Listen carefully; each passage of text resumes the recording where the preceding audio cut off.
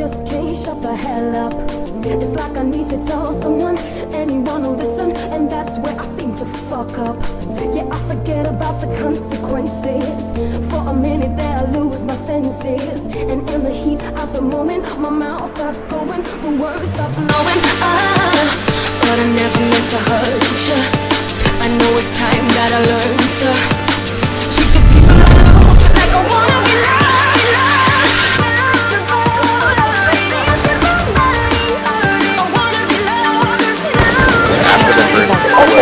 Oh, shit.